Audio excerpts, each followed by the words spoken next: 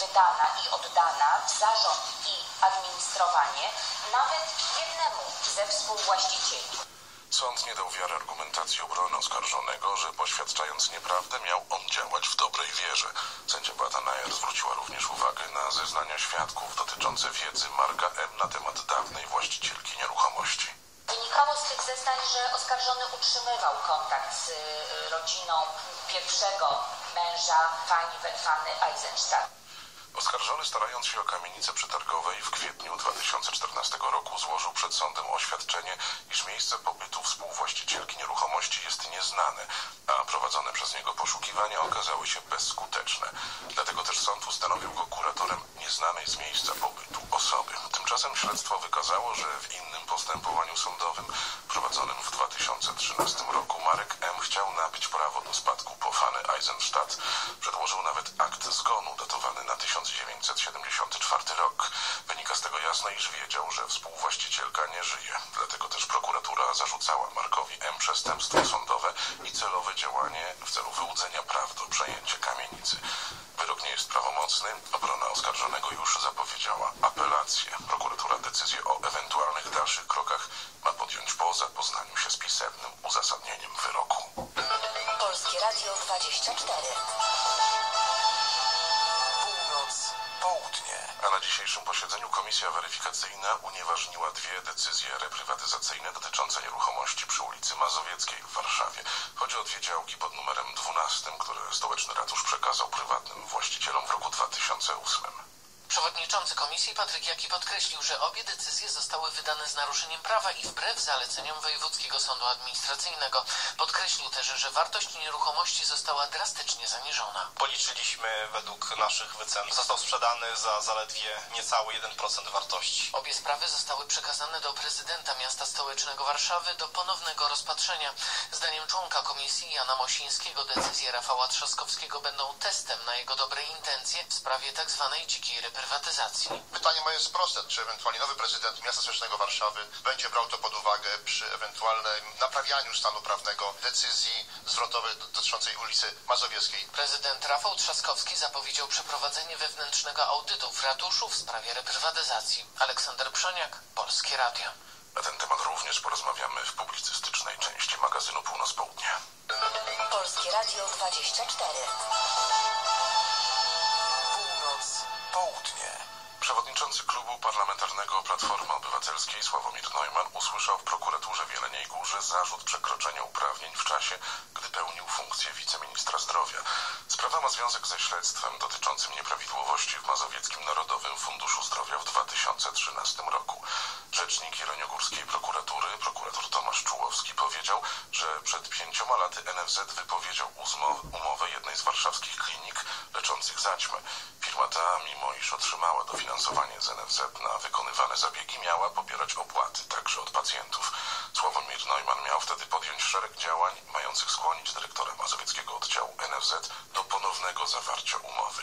Podpisano ją 31 grudnia 2013 roku w formie aneksu. Rzecznik powiedział, że podejrzany nie przyznał się do winy.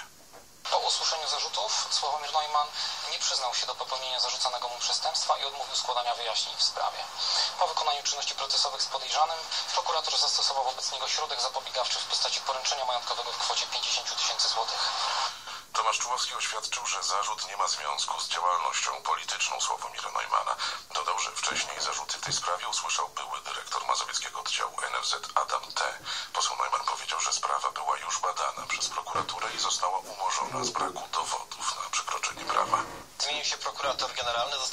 Ziobro i zapowiadał niedawno, że doprowadzi do tego, że usłyszę zarzut.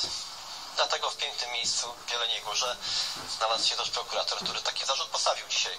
Oczekuję szybkiego skierowania aktu oskarżenia do sądu, żebym w sądzie mógł się obronić, bo sprawa jest absolutnie e, prosta i naciągana w tym przypadku przez prokuraturę. Uznał zarzuty przeciwko niemu za absurdalne. Zwrócił się do dziennikarzy, aby używali jego pełnego nazwiska, nie tylko pierwszej jego litery. Tak znaczy południe. Wskaźnik PMI dla polskiego przemysłu spadł w listopadzie poniżej 50 punktów. Firma Markit poinformowała, że odczyt wskaźnika wyniósł 49,5 punktów wobec 50,4 punktów w październiku. Indeks PMI jest traktowany jako wskaźnik wyprzedzający, mówiący o stanie naszego przemysłu. Główny ekonomista banku PKO BP Piotr Pujak uważa, że listopadowy odczyt wskaźnika jest rozczarowaniem. PMI dla krajowego przemysłu w ostatnich kilku miesiącach mocno zaskakiwał i tradycji stało się zadość w listopadzie. Mamy kolejne rozczarowanie. Indeks spadł poniżej najbardziej pesymistycznej prognozy. Po raz pierwszy od kilku lat znalazł się poniżej neutralnego poziomu 50 punktów, co oznacza, że aktywność w polskim przemyśle zaczęła się kurczyć. Piotr Bujek podkreśla jednak, że ewentualne pogorszenie sytuacji w przemyśle nie oznacza czarnego scenariusza dla całej gospodarki.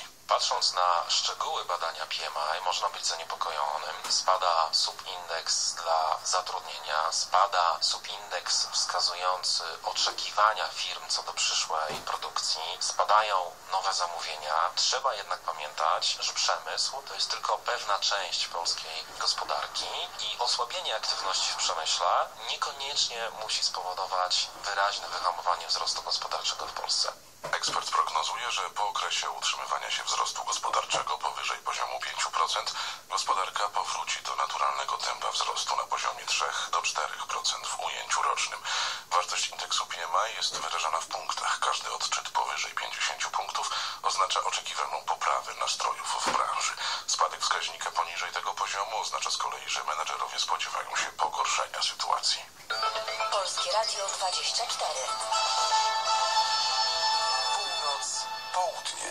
informacje z zagranicy. Mieszkańcy anektowanego przez Rosję Krymu będą pomagać ukraińskim marynarzom przetrzymywanym w moskiewskich aresztach, dowiedziało się Polskie Radio.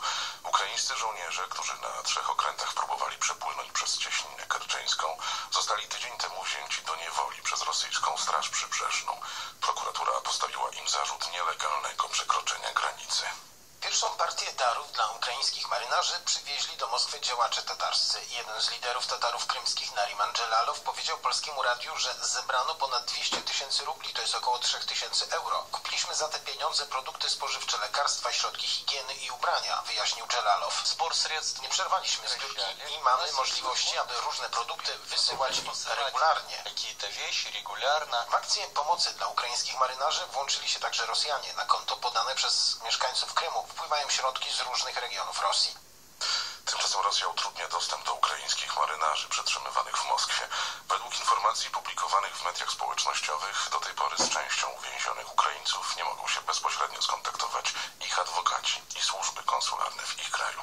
Według Radia Echo Moskwy o spotkanie z uwięzionymi marynarzami intensywnie zabiega konsulat generalny Ukrainy w Moskwie. Odpowiednie wnioski zostały wysłane do rosyjskiego MSZ oraz dwóch aresztów śledczych Lefortowo i Matroskaja Ciszyna. Wcześniej rosyjski adwokat Nikołaj Polozow, który ma reprezentować interesy jednego z wziętych do niewoli marynarzy, poinformował, że do tej pory nie miał kontaktu z klientem, a także nie zna nazwiska śledczego prowadzącego postępowanie karne. Ukraińskim marynarzom już w ubiegłym tygodniu postawiono zarzut nielegalnego przekroczenia granicy. Zdaniem międzynarodowych ekspertów władze Rosji nie mają podstaw do formułowania takich oskarżeń, bowiem Ukraińców zatrzymano na wodach neutralnych, na których nie działa rosyjska jurysdykcja. Moskwa Maciej Jastrzębski, Polskie Radio. O przestrzeganie międzynarodowego prawa zaapelował ponownie do Rosji sekretarz generalny NATO Jens Stoltenberg. Wspomniał łamanie przez Rosję traktatu INF o likwidacji pocisków rakietowych średniego zasięgu. Chodzi o rosyjskie pociski manewrujące, które stanowią uzbrojenie niektórych systemów Iskander w Kaliningradzie. Szef sojuszu wymienił też ostrzelanie ukraińskich okrętów przez rosyjskie siły specjalne. Zagrożenie ze strony Rosji ma być jednym z tematów rozpoczynającego się jutro spotkania ministrów spraw zagranicznych NATO w Brukseli. Szef sojuszu powiedział, że traktat o likwidacji pocisków rakietowych średniego zasięgu sprzed 30 lat jest obecnie zagrożony, bo Rosja łamie jego postanowienia. Rosja rozwinęła, wyprodukowała i rozmieściła nowy system rakietowy, który jest mobilny i trudny do wykrycia. Rakiety mogą przenosić broń nuklearną i dolecieć do europejskich miast niemal bez ostrzeżenia. Mówiąc o łamaniu międzynarodowego prawa przez Rosję, sekretarz generalny przypomniał ostrzelanie i przetrzymywanie ukraińskich okrętów. Rosja Rosja musi oddać okręty i uwolnić marynarzy. Musi też zagwarantować swobodę żeglugi i dostęp do ukraińskich portów na Morzu Azowskim. Podczas dwudniowej narady ministrowie spraw zagranicznych NATO mają także zaplanowane spotkania z szefami dyplomacji Ukrainy i Gruzji. Rosja, jak mówił szef sojuszu, stanowi zagrożenie dla bezpieczeństwa obu państw. Beata Płomecka, Polskie Radio, Bruksela. Od tygodnia na części terytorium Ukrainy obowiązuje stan wojenny. Ma to związek z atakiem Rosjan na trzy ukraińskie okręty w rejonie Cieśniny Karczeńskiej. Tymczasem ryzyko wtargnięcia Rosji na Ukrainę jest realne, ocenia w rozmowie z Polskim Radiem ukraiński ekspert z Kijowskiego Centrum Badań nad Armią, Konwersją i Rozbrojeniem Michał Samuś. Stan wojenny, jak wskazuje, posłuży Ukrainie do przećwiczenia scenariusza mobilizacji państwa na wypadek wojny. Ukraińskie władze ogłaszając stan wojenny mówiły o zwiększającym się zagrożeniu inwazją ze strony Rosji. Ekspert do spraw wojskowości Michał Samuś potwierdza, że w No. ostatnim czasie Rosjanie przy granicach z Ukrainą skoncentrowali duże ilości żołnierzy i sprzętu. Pierwsza tankowa armia. Pierwsza Armia Pancerna, 20 Gwardyjska Armia, 8 Gwardyjska Armia to setki samolotów i tysiące czołgów, które znajdują się kilkadziesiąt kilometrów od granic z Ukrainą i są gotowe do ataku. Do nastupu. Dlatego, jak zaznacza ekspert, Ukraina musi być być przygotowana do obrony. Jak ocenia, takiemu właśnie przygotowaniu służy stan wojenny. Jest to przećwiczenie schematów przejścia na tryb wojenny organów władzy i niektórych przedsiębiorstw na wypadek agresji Rosji, tak aby instytucje władzy wiedziały, jak mają działać, poczynając od sołtysów po prezydenta Maroczek nie ma szczęścia. Jak nie złodziej, to kurwa, jak nie, to morderca. Te Rosjanki, jego koleżanki, wiesz, męskiczanki, wiesz. Na Ukrainę jeździł handlować. Wiesz, no Polacy tak tych Ukraińczyków nie lubią. Czy Ukraińców różnie tu gadają. Ale muszą.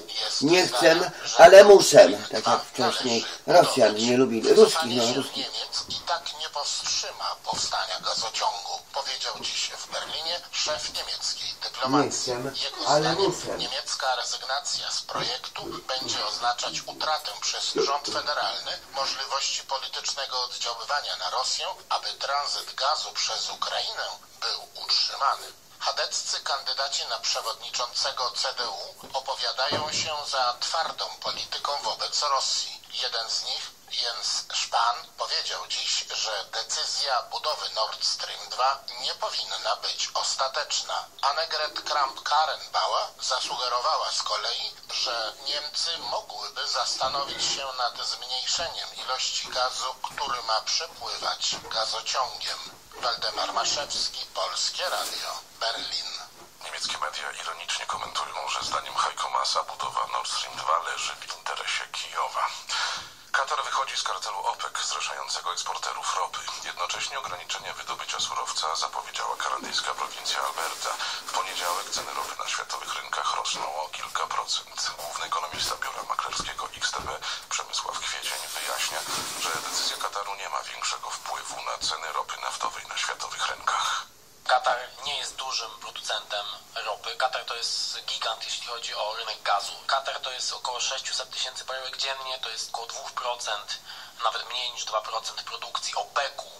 OPEC-u, więc w skali globalnej to jest mniej niż 1%. Wielkich zmian nie będzie. To też nie jest tak, że Katar wychodzi z OPEC, bo chce produkować na przykład dwa razy tyle. Gdyby tak było, to oczywiście to miałoby duży wpływ, ale jakby decyzja jest interpretowana politycznie. Czyli, że ropa, widzisz, ropa, ropa. Przekonuje, że decyzja o Bogactwem. ograniczeniu wydobycia ropy w Kanadzie Ropa ma bogactwem. większe znaczenie dla cen surowca. Problem Kanady polega na tym, że ropa, która jest tam wydobywana, nie bardzo Kanadyjczycy mają możliwości poradzenia sobie z tą zwiększoną produkcją i jej eksportem. Z punktu widzenia globalnego to jest oczywiście znaczące, bo to obcięcie produkcji w prowincji Alberta o 10% to jest ponad 300 tysięcy baryłek dziennie. Dla porównania to jest więcej niż połowa produkcji Kataru, samocięcie, więc jakby to pokazuje skalę. Obecnie ceny ropy na światowych rynkach wahają się w zależności od gatunku od 50 do 65 dolarów za baryłkę. Dziś rosną o kilka procent. Z kolei według zapowiedzi katarskich polityków kraj ma opuścić kartel OPEC z początkiem przyszłego roku. OPEC to międzynarodowa organizacja państw będących producentami ropy naftowej z siedzibą w Wiedniu. kontroluje prawie połowę wydobycia tego paliwa. Nie należą do niej ani Stany Zjednoczone, ani Rosja. Ostatnio sprzyja jednak działaniom kartelu na rzecz ograniczenia wydobycia. Członkami OPEC są m.in. Arabia Saudyjska, Zjednoczone Emiraty Arabskie, Iran i Kuwait. Powtórka programu. Południe. 24. Rozpoczynamy więc część publicystyczną naszego magazynu na początek COP24 szczyt, który odbywa się w Katowicach. Gościem Polskiego Radia 24 jest e, profesor Zbigniew Karaczun z Koalicji Klimatycznej. Dobry wieczór.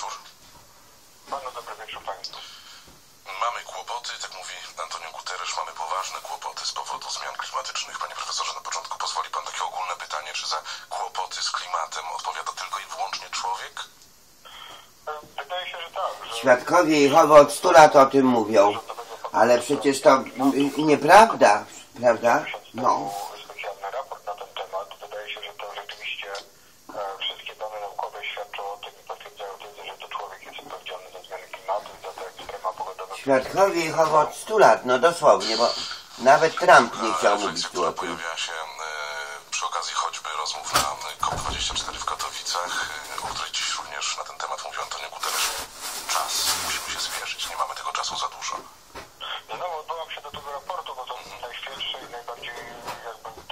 Nawet Trump nie chciał się zajmować tematem, bo nieaktualny. W ciągu najbliższych 10 lat musimy radykalnie zmienić naszą gospodarkę, radykalnie odejść od paliw kopalnych, bo inaczej uratować klimatu się nie da, a to będzie... Tak dziady są zajęte, wiesz, pieniędzmi, że sprawy duchowe, sprawy 10 życia nieaktualne 100 latach. prostu. Jaka to jest perspektywa czasowa, panie profesorze? Ja, ja bym nie chciał w tej chwili na to pytanie odpowiedzieć, dlatego że e, jeszcze mm, 3, 4 czy 5 lat temu mówiliśmy, to będzie połowa tego wieku, a może nawet później. Natomiast e, wszystkie e, wyniki badań, e, które w tej chwili otrzymujemy, potwierdzają tezę, że zmiany następują znacznie szybciej niż myśmy się spodziewali. I e, te katastrofalne e, wydarzenia, te katastrofalne zjawiska już występują. No, proszę sobie przypomnieć, co się dzieje w Polsce, w kraju, który kiedyś był wolny od huraganów, a gdzie stało, stało się one codziennością niemalże w lecie. Kraju, który od niemal 15 lat co roku ma suszę. Myślę, że to, to, to już widać gołym okiem, że te zmiany i ta katastrofa klimatyczna to nie przyszłość, to, to, to nie, nie, nie, nie bardzo daleki e, scenariusz, ale to już coś, co dzisiaj nam, nam, nas trapi, co dzisiaj obserwujemy, co dzisiaj widzimy. Panie profesorze, a co powiedzieć tym, którzy mówią, że to e, tak sobie No ale sama tam była już kwestia nie cykl po prostu matki natury. 4%, Już tak tylko po prostu jakichś tam dziesiątych, że nas wszystkich zaleje. Ja myślę, że, oczywiście e, e, system w jakichś e, granicach się re- autoreguluje. Natomiast problem jest taki, że my zaczęliśmy przekraczać te granice. To znaczy ja pamiętam jak mnie w szkole podstawowej uczono, że w atmosferze jest 270 ppm dwutlenku węgla, a e, obecnie Myślę, jest się będzie pytało. 400, ponad 400 i to zderzenie ciągle rośnie. E, i Oczywiście Ziemia się reguluje e, i, biosfera pewnie wróci do stabilności, tylko zrzuci po drodze pewien ciężar, a tym, człowiek, tym ciężarem będzie populacja ludzka. Czyli e, być może wróci system do, do, do, do tej stabilności za 10 czy 30 czy 50 tysięcy lat, natomiast już bez ludzi, bez człowieka, bez naszej cywilizacji. Czyli odrzuci ten czynnik, który to jakby spowodował. Który zaburza tak równowagę, który, który mu zagraża. Także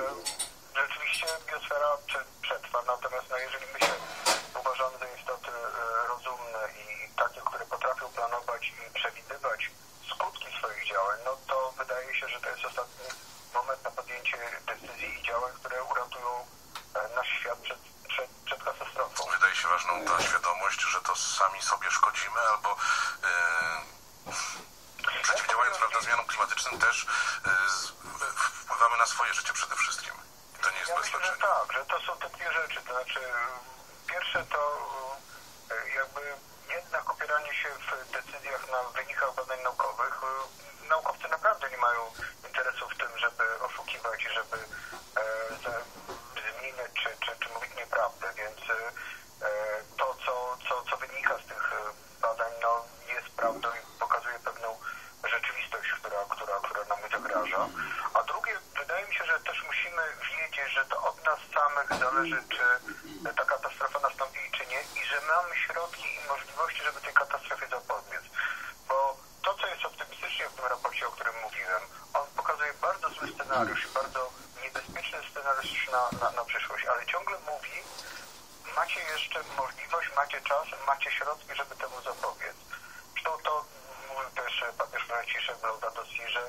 no, ciągle jeszcze możemy zapobiec tej katastrofie i warto, warto to mieć w, pamięci, warto takie rzeczy widzieć i te działania podejmować. To oczywiście do tych działań Jaki człowiek jest pazerny, jaki człowiek siwy, brak miłości, brak wyobraźni, prawda? No, pieniąchy, pieniąchy, pieniąchy.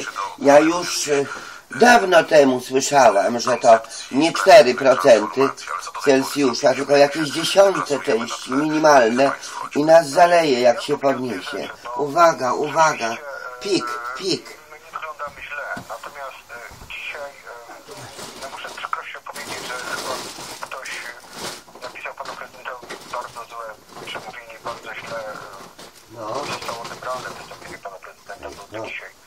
E, czy, czy, czy w ogóle na komu Mówimy o tym węglu na kolejne 200 lat, tak? Dokładnie, znaczy w ogóle jakby no, jakby ktoś kto mu pisał to przemówienie pomylił e, imprezy, to, to naprawdę... Czasy pik, czasy pik, czasy pik, czasy pik. Mówimy o węglu, tylko mówimy raczej o odchodzeniu od węgla. Odchodzeniu od węgla mówimy, tak. Musimy odchodzić od tego węgla w sposób e, taki, żeby nikogo nie skrzywdzić, czyli to pojęcie sprawiedliwej transformacji, które urodziło się w Stanach Zjednoczonych kilka i w Ameryce Południowej kilkanaście lat temu i to była koncepcja związków zawodowych, które mówiły, że e, trzeba prze, przekształcać gospodarkę, ale tak, żeby nie krzywdzić tych, którzy od e, między innymi od tych surowców nieodnawialnych są O, my tu e, mówimy. i tak, żeby oni O mogli czym? znaleźć e, bezpieczne Radio utrzymania Gnia. i żeby państwa też nie ponosiły z tego tytułu nadmiernych kosztów.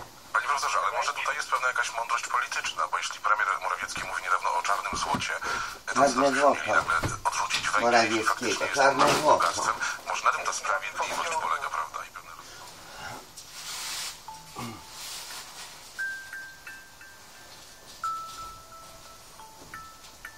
Także to są te alarmy, Państwo zobaczą. Czarne złoto Morawieckiego. rolniczego w kraj przemysłowy, natomiast od pewnego czasu on jest naszym przekleństwem. Proszę zobaczyć w koło, Czarne złoto że, Morawieckiego. e, ceny energii w Polsce stają się najwyższe wśród naszych sąsiadów. E, my tak, e, czy często politycy mówią, a przecież ta reforma e, energetyczna w Niemczech się nie udaje i tam strasznie ceny energii rosną, ale ceny energii e, na rynkach czy na, na giełdzie energii elektrycznej w Niemczech e, są niższe niż w Polsce. I e, to, co się w tej chwili dzieje e, w Polsce i ten kierunek, mm, ja bym powiedział, kurczowego trzymania się przy węglu e, i takiego po- mówienia, że my od tego węgla nie odejdziemy, jest bardzo niebezpieczny dla gospodarki. I jeszcze jedną rzecz chcę powiedzieć. W tym roku to nie jest tylko polski węgiel. My w tym roku kupimy około 17 milionów ton węgla z zagranicy, z czego około 12, ton, milio- 12 milionów ton z Rosji. My stajemy się uzależnieni od Rosji już nie tylko z gazem, nie tylko z ropą naftową, ale również z węglem. I ten, e, to, ta, ta myśl powinna też jakby być widoczna, że, że ten węgiel to nie tylko kwestia zmian klimatu, to nie tylko kwestia e, smogu, ale to też kwestia bezpieczeństwa e, energetycznego i bezpiecze, zwykłego bezpieczeństwa Polski. z jednej strony kurczowe trzymanie się węgla i tego nie powinniśmy robić, jak pan profesor mówi, ale z drugiej strony nie możemy też puścić go tak e, nagle, prawda? Musi być jakieś e, wyjście rozsądne i może to przechodzenie, tylko rozumiem, że tutaj czas też gra rolę i powinniśmy w co inwestować? W odnawialne, odnawialne źródła energii? Czy takie słowa na przykład o lasach e, mają sens? Czy to wszystko też wpisuje się w taką odpowiedzialną politykę przyszłościową, jeśli chodzi o ochronę klimatu w naszym kraju? Czy co jest najważniejsze z pana perspektywy? Ja bym powiedział tak, że e, e, i, i, i, i, zupełnie inaczej byłaby odebrana e, ta wypowiedź pana prezydenta dzisiaj, gdyby on powiedział, zasoby węgla, rzeczywiście byliśmy, jesteśmy uzależnieni od tego węgla, ale widzimy potrzebę transformacji e, e, tej e, uczciwej i, i, i tej sprawiedliwej transformacji w kierunku gospodarki niskoemisyjnej. E, Jeżeli my wiemy tak naprawdę dzisiaj, że zmiany klimatu będą miały katastrofalne skutki, że one są groźne e, dla, dla naszego gatunku tak naprawdę, dla przetrwania naszej cywilizacji. Jeżeli wiemy, że tak naprawdę głównym sprawcą tych zmian e, jest, są gazy cieplarniane, w tym dwutlenek węgla, metan, e, podtlenek azotu, to powinniśmy zrobić wszystko, żeby te emisje ograniczać. Jeżeli wiemy, że mamy na to 10 lat, to 10 wszystko, żebyśmy ten termin otrzymali, utrzymali, dotrzymali, e, mając na uwadze bezpieczeństwo naszych dzieci, naszych wnuków. Ja mam trójkę dzieci chciałbym, żeby one żyły w bezpiecznym świecie, a mam wrażenie, że zostawiamy... No tak, ale że może jeżeli chodzi o obcych, to on by nie chciał, gości, tylko o dzieci i wnuki, prawda? Właśnie, tylko o swojej dupie Maryni myśli. o to. I myślę, że gdyby pan pre- prezydent powiedział mi, mamy węgiel, ale widzimy potrzebę dokonania transformacji. Dobra, dobra.